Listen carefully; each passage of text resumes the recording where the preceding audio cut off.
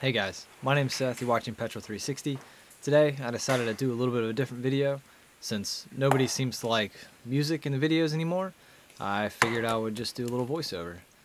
So since we're all stuck at home right now, I figured I would uh, take the chance to get back and use the welder a little bit. It's been a couple months honestly since I've used the welder, so this is just a really simple quick project.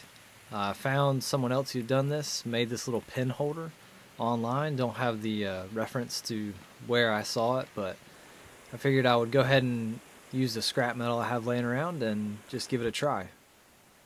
So as you can see, this whole build, build is going to be extremely simple and easy.